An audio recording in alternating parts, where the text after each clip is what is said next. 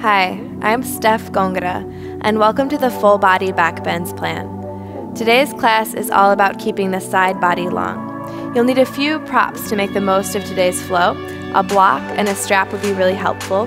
Erin is here demonstrating some variations and modifications for us. So gather what you need, and I'll meet you on the mat.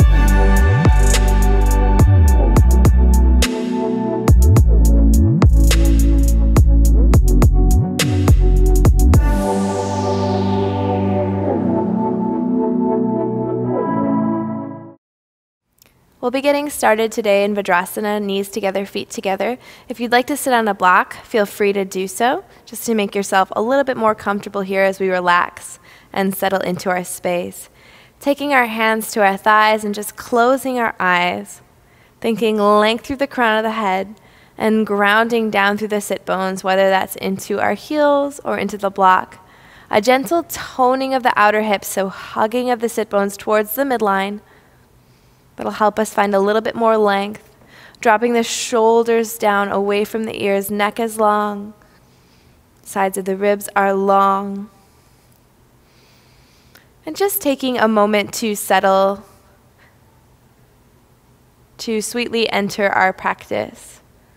Be flowing through a variety of side body opening and lengthening postures today. Sometimes going slow, sometimes bringing a little bit of movement and hydration and circulation into the flow. just really focusing on finding that space. So many times in back bends and heart opening postures, we forget about the importance of the side body.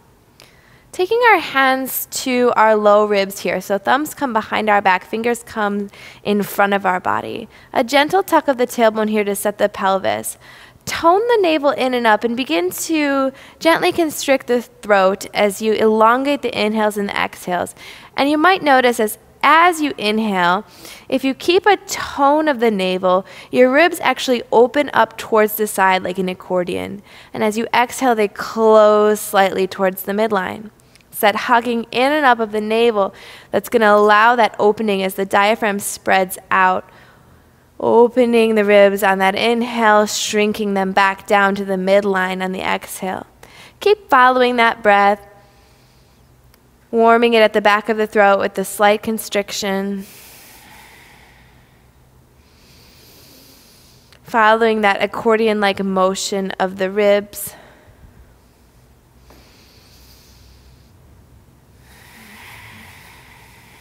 Take one more full round of breath like this. And then release your hands down to your thighs and blink your eyes open. Next inhale, sweeps your arms up overhead. Take your right hand and grab your left wrist and begin to pull your left wrist up and over towards the right. So a gentle half moon stretch here. Arc your sternum and your heart lightly up towards the sky. Ground down evenly through both sit bones and hug your sit bones gently towards the midline. Length along the left side body here. Release the wrist, come back up to center. Inhale, reaches the arms high. And as you exhale, use your left hand, grab your right wrist, and pull it gently over towards the left. Ground down firmly through your sit bones. Keep the tuck of the tail. Lift the sternum up towards the ceiling. Carefully release, bring your hands down towards your thighs. I want you to think about your mat like a clock. So in front of you would be 12, behind you is 6, over to your right is 3, and 9. We're going to aim for about 130 this first round, which is the top right corner of your mat. So inhale, sweeps the arms up. As you exhale, hug your navel towards your spine, spin your upper body towards that top right corner. Take the hands down, walk them forward, bringing low belly to or towards your thighs. If the left sit bone has grown a little bit light, push your right hand down and away from you to ground down through the hips a little bit more. Keep that motion as you spider the left fingertips out just a little bit further. Deep stretch along the left side body.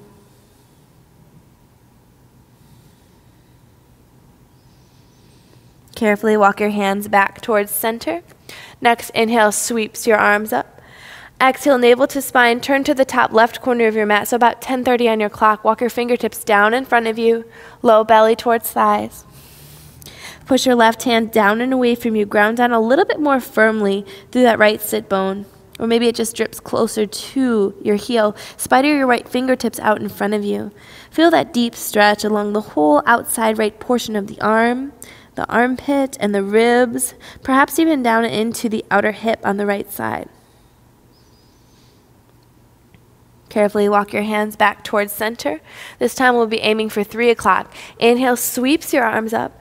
Exhale, hug your navel in and up. Spin over towards three on the clock, so over to the right. Bring your fingertips down. Walk your hands out in front of you.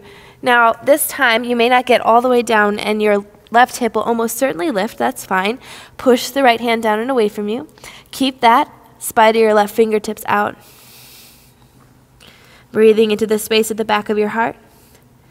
You can stay here or back your hands up slightly. Hug your navel in and up to create space and spin even more to the right, hooking your left elbow to the outer edge of your right knee. Here you can reach back with the left hand, grab your right heel or even the edge of your mat, and spider your right fingertips up towards 12. Once they're there, push down and away and arc your sternum up towards the sky.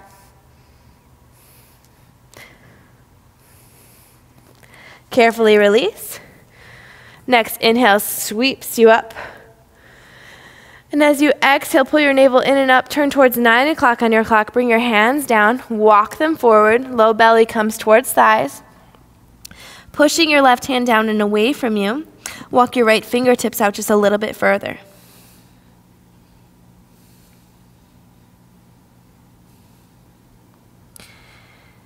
Stay here or back out of this slightly. Pivot the body even more to the left. Hook the outer edge of the right elbow to the left knee. Maybe reach back with the right hand for the left heel.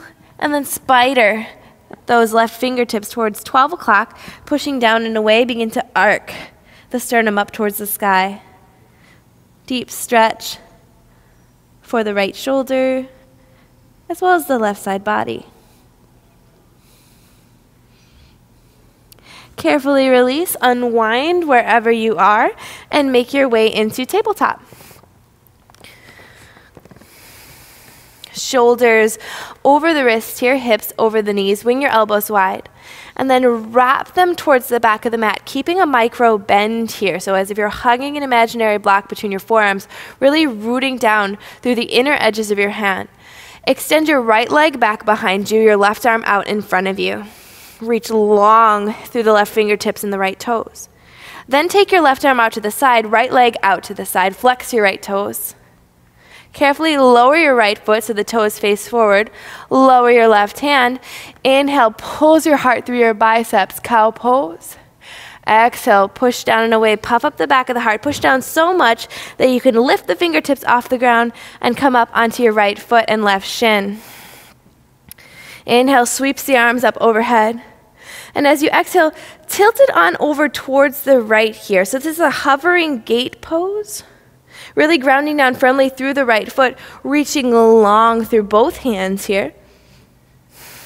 Even here, arcing the sternum gently up towards the sky, pushing the back of the head back, squeezing the shoulder blades together. Carefully come back to center and bring your hands back down towards the mat. Pull your right foot in, coming back to tabletop position. Grounding down firmly here again. Extend your right arm and your left leg long, sunbird. Reach long through those right fingertips and out through those left toes. And then take the right hand out to the right, left leg out to the left. Carefully lower your left toes and your right hand. Inhale, pulls your heart through your biceps. Exhale, push down and away. Puff up the back of the heart so much so you can use the power of the core to lift your body off the ground, coming onto right shin and left foot. Inhale, sweeps your arms up. And as you exhale, tilt it on over to the left. Side body stretch, hovering gate pose. Arc the sternum up towards the sky as you squeeze the shoulder blades gently together onto your back.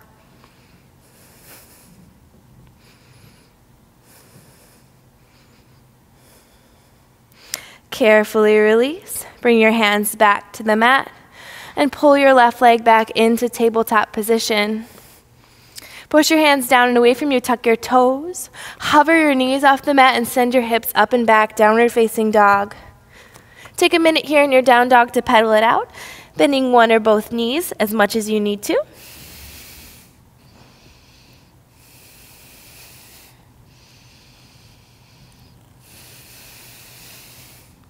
And then finding some stillness here, keeping a gentle bend in the knees, widening the sit bones out and back, length from the hands pressing into the earth, back out through the sit bones. Spine is long, side body is long. Rooting down to the inner edges of the hand. Inhale, lift your right leg straight and strong. Bend the knee, open up the hip. High up under those left tippy toes. Spin to the outer edge of the left foot. Bend the left leg enough so you can plant the whole sole of the left foot. So nice firm bend here. Maybe your right fingertips grow high. Maybe right arm reaches up towards the sky. Vashisthasana variation. Right arm, right knee high.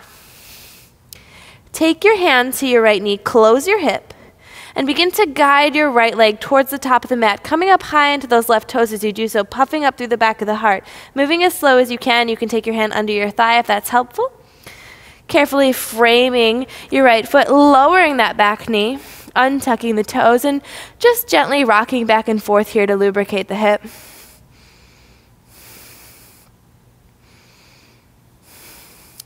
Take your right hand to your right knee and use it to push your low belly away from your thighs. You come up. Keeping your hands on your right thigh, use the strength of your left hamstring to curl that heel in towards the sit bone, flex the foot. Reach back with your left hand, grab the outer edge of your foot or your ankle. Re-square your shoulders towards the front of the mat, quad stretch. So keep the square of the hips as you lunge forward, pulling the heel in towards the sit bone. Now you can stay here or challenge your balance by reaching the right hand back behind you and grabbing the inner edge of that left ankle. Tucking the tailbone lightly here to keep the side of the low back. Carefully release without slingshotting your foot towards the ground. Tuck the back toes. Really root down, pull the right heel in towards the back leg as you lift the left knee. Inhale, sweeps the arms up overhead, crescent pose. Bend the back knee enough to tuck the tailbone and send this stretch into the left hip flexor and left quad. And the next inhale opens you up towards the side. Warrior two, heel to arch alignment here. Arms reach out long, shoulders are stacked over the hips. Gaze is over the right middle finger. Inhale pulls you forward. Exhale, tip it on back to reverse warrior, but hover your back arm if you can here. So using the strength of your side body and your core to help you find this activation.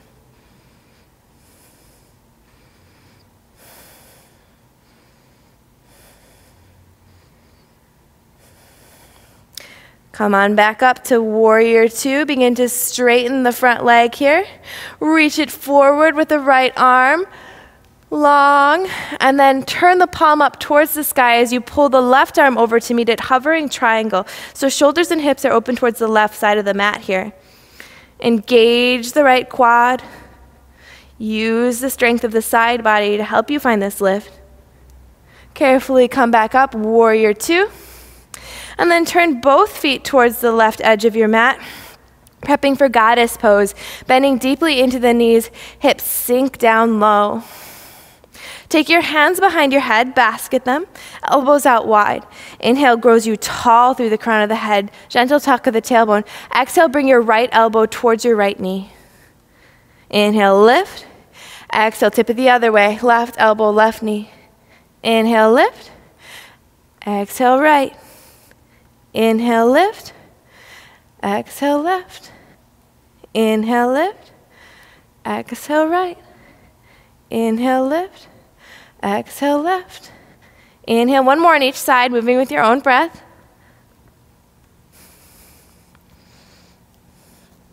As you make your way back to center, begin to straighten your legs, release your hands, pivot towards the top of the mat, crescent pose. Bring your hands down to frame your right foot and step it back to plank. Send the hips up and back, downward facing dog. Inhale, lifts the left leg. Bend the knee, open up the hip. High up under those right tippy toes, spin to the outer edge of the right foot. Bend the knee firmly so that you can plant the whole sole of the foot. Left fingertips grow light. Left arm, left knee high. Vashisthasana variation here. Take your left hand to your left knee, close the hip, and begin to guide your left foot towards the top of the mat. Moving slowly, catting the spine, puffing up through the back of the heart as you get there. We'll meet by framing our left foot, lowering our right knee, untucking the toes here, and lubricating the hip joint by rocking back and forth. Take your left hand to your knee, gently prop yourself up. Tuck the tailbone to send the stretch to the right quad. Curl the right heel in towards the sit bone. Reach back with the right hand. Grab the outer edge of the right ankle. Square the shoulders towards the front of the mat.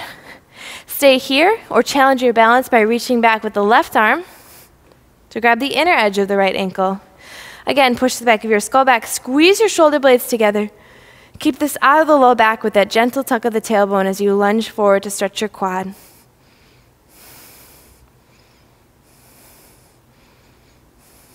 Carefully release without slingshotting your foot. Tuck those back toes.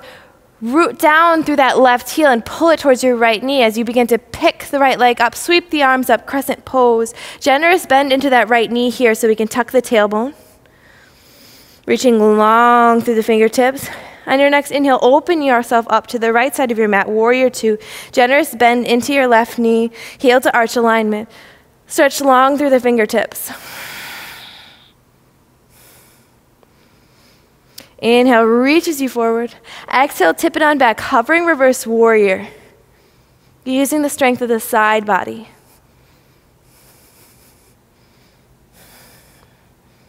Next inhale lifts you back up, warrior two. Straighten the front leg. You can walk your back foot in a little bit if that's comfortable for you. We're prepping for triangle pose.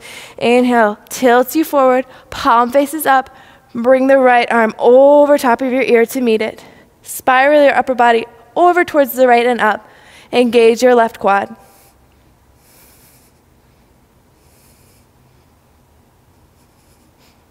Carefully make your way back, warrior two. Pivot both feet towards the right edge of your mat, coming back to goddess pose here. Inhale, brings your arms up over your head.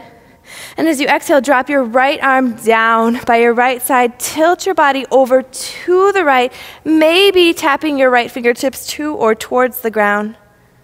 Inhale, sweeps you back up. Exhale, drop the left arm, sweep it over to the left. Inhale up. One more time on each side. Right arm drops, left arm reaches over, side body long. Inhale up. Exhale, left arm reaches down, right arm reaches over. Coming back up. Pivot towards the front of the mat, crescent pose. Take your hands down to frame your left foot. Step back, plank pose.